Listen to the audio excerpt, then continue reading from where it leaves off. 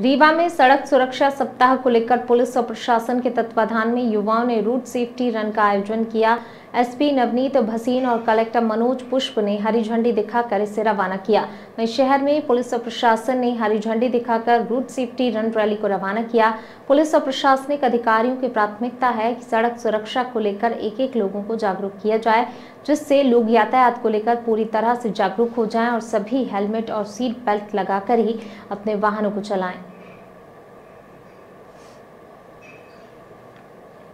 सभी को यातायात नियमों का पालन करना चाहिए। देश में और रीवा में भी बहुत सारी अच्छी सड़कें बन गई हैं।